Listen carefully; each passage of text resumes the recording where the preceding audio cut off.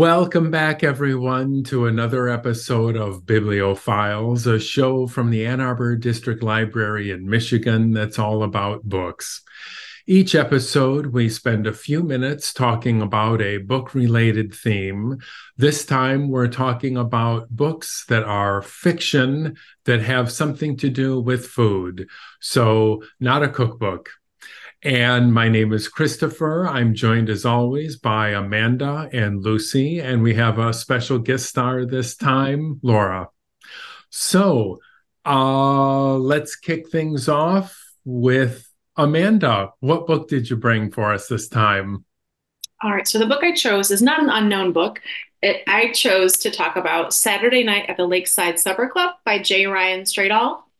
Uh, this book came out in 2023, and that's when I read it. I read it in the summer. It's a great summer read.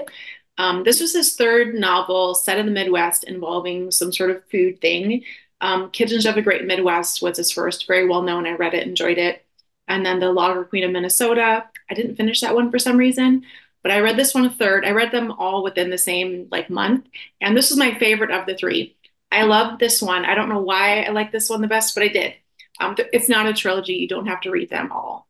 Um, but this one, it takes place over many decades. It involves one family and it focuses on this place called the Lakeside Supper Club.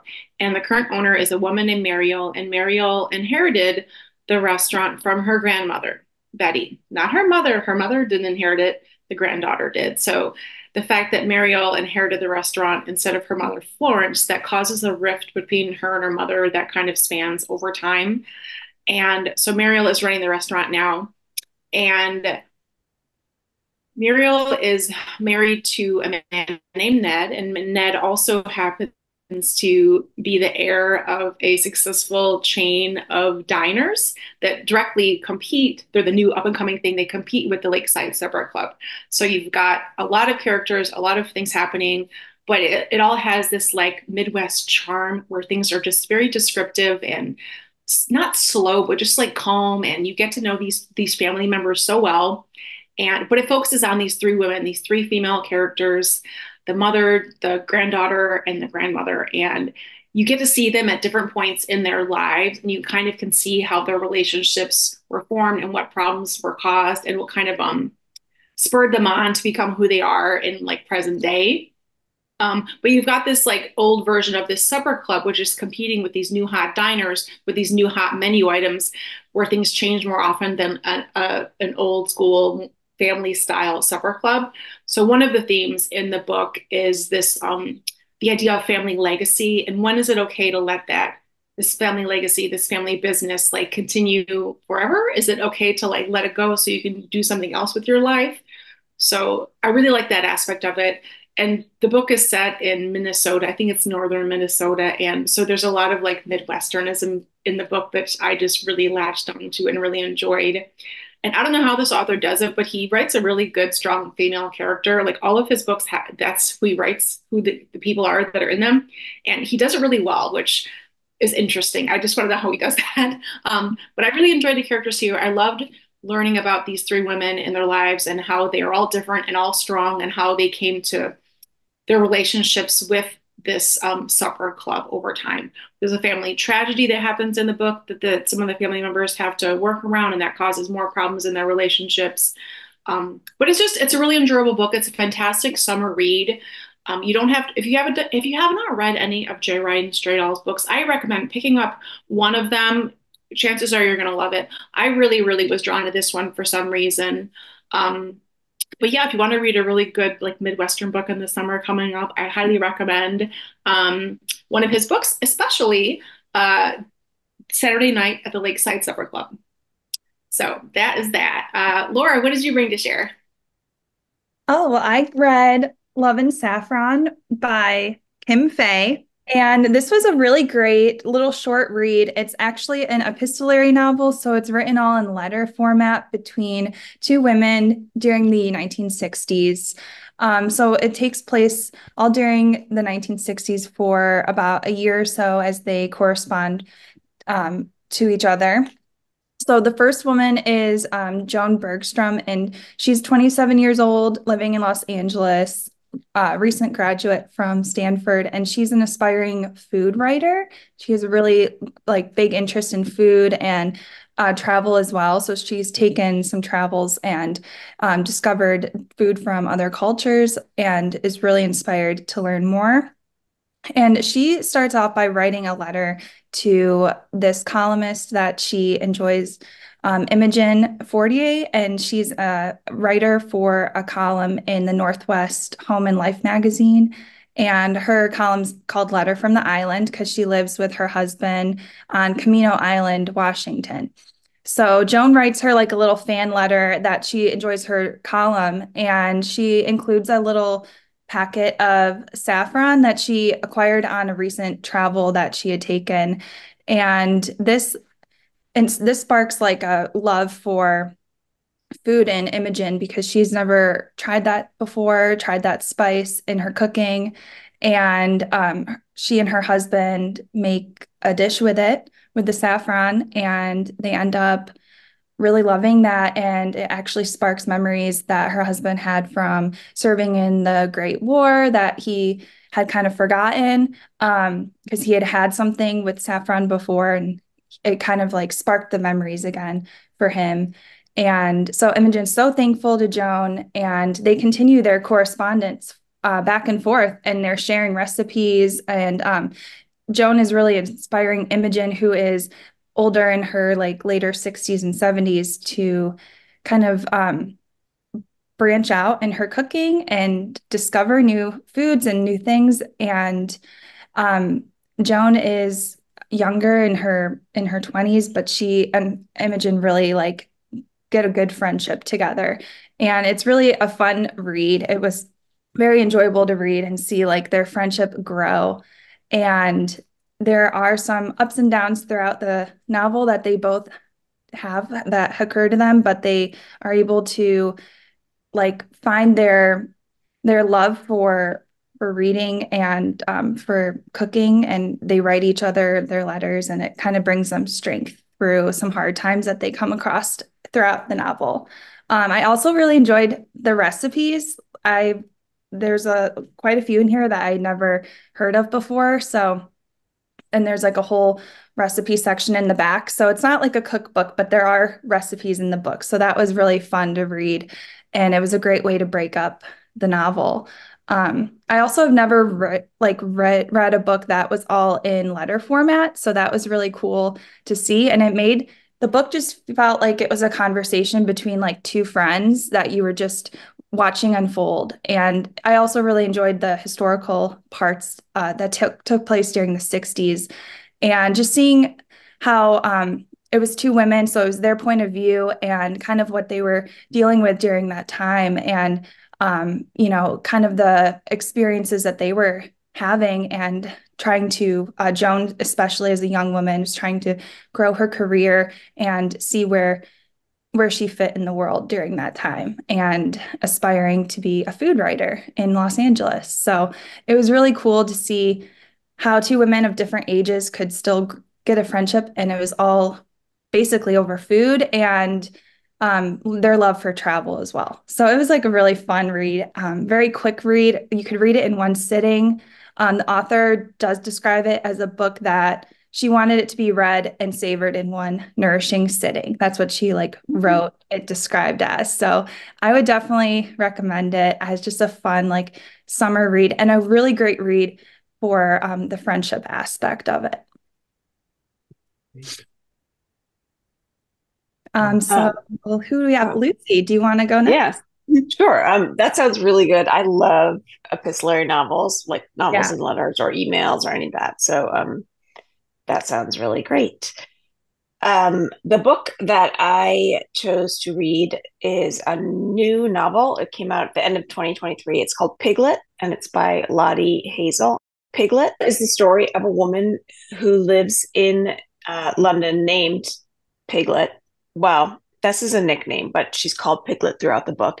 And the book takes place in the couple weeks before her wedding. She lives with her fiance, Kit, and um, it's following that time up until these few days before her wedding when Kit confesses this terrible truth to her. uh, and it's the type of thing that would make her decide whether or not she's going to get married to him still. We never find out what that truth is, which is a really interesting part of the book.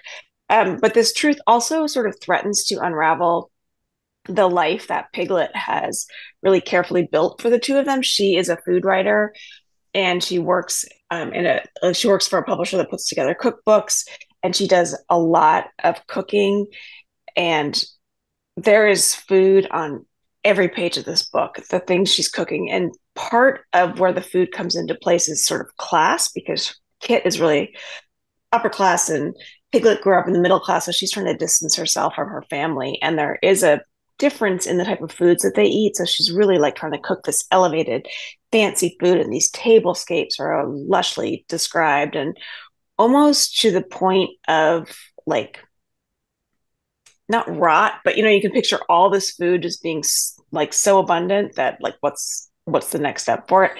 Mm-hmm. Um, but that's kind of the life that she's built this perfect life where they both have jobs they love and they entertain and she's a great cook and she is a great cook. Uh, and it follows her on this countdown to her wedding. And she is unraveling. She is trying to grapple with this and still sort of going ahead with this wedding and and not really dealing with reality. And much of the grappling that she does is shown through the lens of food, either by like what she's making or she's going to restaurants and pretending to be a food critic. So she orders like tons of food. Um, and it's really important. Food in this book is really important for how she perceives herself as a person, but like as far as class, I said, and family, but other also how other people perceive her or how people perceive women through food, like what they eat, what they choose to eat, what they don't eat. Um, either like that class piece, like what food she's serving, or also, you know, if you walk into a restaurant and someone has all these plates in front of them and it's a woman, like, so then there's this um, part of her being called Piglet. And we do kind of find out this backstory behind that name. And it's a family nickname, so that might be endearing, but it's a little bit of a um, not so endearing story. And to be a woman called Piglet by everybody, really everybody except like people at work, um, is kind of a weird label to have. And so then you see how food relates to her body. There's a scene there are some scenes in this book it gets like claustrophobic and a little cringy but in a great way it's like you're just in it like the scene where she's trying on a wedding dress and like being kind of sh- it's just it's horrible and amazing writing um and it just has as i said before food on every page elaborate expansive meals and the author lottie Hazell um, cooked along. She called it method writing. And so she cooked along with uh, Piglet the whole time, including making a croquembouche, bouche, which is what Piglet decides to make for her wedding. So Piglet decides to make her own wedding cake, which is one kind of a lot. And then a bouche, which is this French dessert, which is um, like choux paste, like puff, um, like kind of like a puff pastry, like an eclair ball. Tons of those stacked up, and they're stuck together with like melted sugar. And the idea when you eat this, it's a French wedding cake, is you have to destroy it. So not only is she making this really ornate, complicated thing for her wedding, which is happening to a man who has confessed some terrible truth to her, but she's making something that's going to be destroyed. So that's a sort of like so um it just is a great metaphor for just generally like her entire life at that. And um the book just says so much about like gender expectations for women and weddings and women's bodies and um, you know as i said before what they're eating and it just has all these sort of like really interesting social and cultural touch points all of which is portrayed through the lens of food and the food is amazing to read about it's just i mean she's never going to cook something simple or something that would be had been served on her family table for dinner growing up because she would deem that too, you know, lower class. So she's just shopping for like these expensive cheeses and um, wines and sets the table in this elaborate way. And so it's really just, it, it's such a good book. It's so absorbing. There are parts of it that are definitely like, you know, cringe worthy, but in a good way. It's just like using this food as a tool to tell the story of this woman, but also the story of women and culture and society in general. It's just brilliant. This is Lottie Hazell's first novel. She wrote it like based on a thesis she was writing. Um, but she isn't before this, she's a game designer. And so it's interesting to think about like how do you create a story through words, like in the same way you're creating a game, you know, trying to tell a story or how people go through the story. So anyway, um, that is Piglet by Lottie Hazell, and it is definitely fiction about food. There's food on every page. I highly recommend it. Christopher, what did you bring? Well, I went back to an old favorite author, and it was such a great excuse to revisit someone that I hadn't read in so long that I used to just adore. So I read After the Banquet by Yukio Mishima. This novel came out in 1960. It was translated by Donald Keene, and it, it tells the story of a restaurant owner who falls in love with a politician, and it follows the arc of this political campaign. So the book really focuses on four major banquets that happen throughout the story. The book opens with a banquet, and that's where the owner of the restaurant meets this politician, and they eventually fall in love. And then there's a subsequent banquet where their wedding announcement is made. And towards the end of the book, there are the final two chapters are called Before the Banquet and after the banquet, also referring to two separate banquets. It's really the fascinating story of their romance, which is very subdued. They're both older people, and their eventual divorce and the decision of the restaurant owner to maintain her property throughout this whole process as well as this political campaign that's happening. But the four banquets that occur, uh, we get these descriptions of the food that's being served. We get menus that are actually printed in the book, which is such a great touch. As I said, I love Mishima.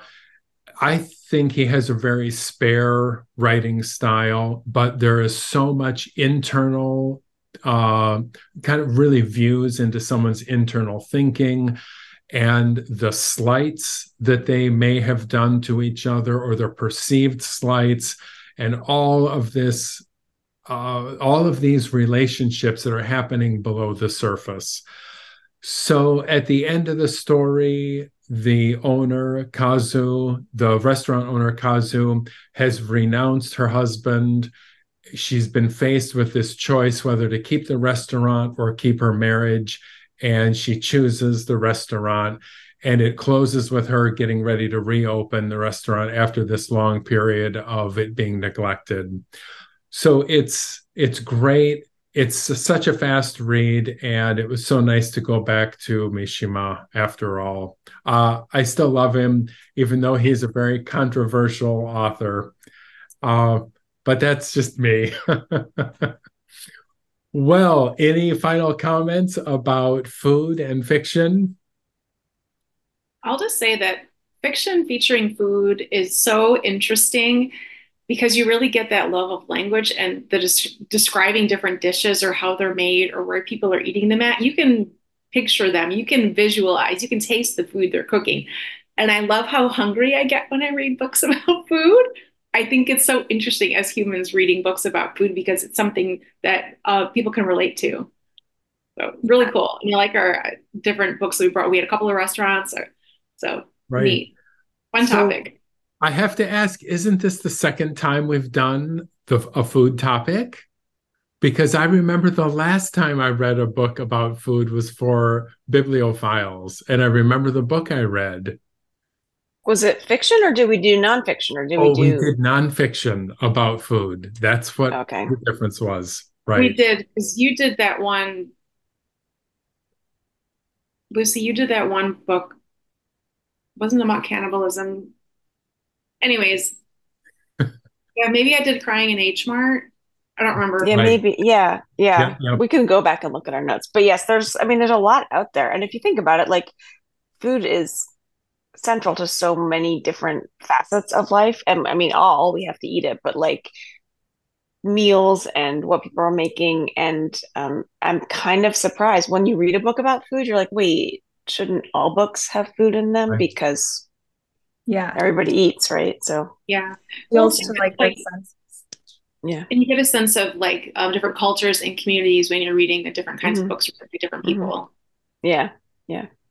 Really cool. Now I'm hungry. I Yeah. know. Me too. It's lunchtime.